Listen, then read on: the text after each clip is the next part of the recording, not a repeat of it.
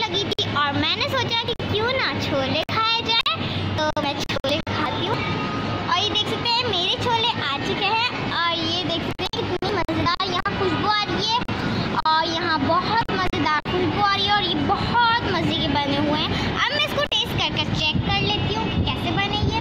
मुझे तो बहुत अच्छे लग रहे हैं, लेकिन ये गर्म है, लेकिन मैं फूक लेती हूँ।